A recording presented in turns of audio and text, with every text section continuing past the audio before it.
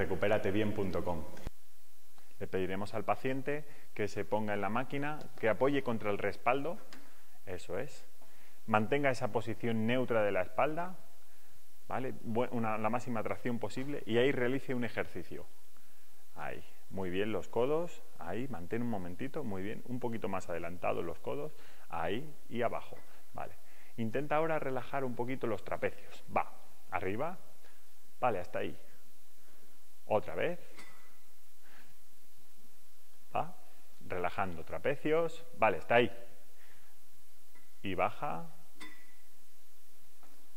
muy bien, recuperatebien.com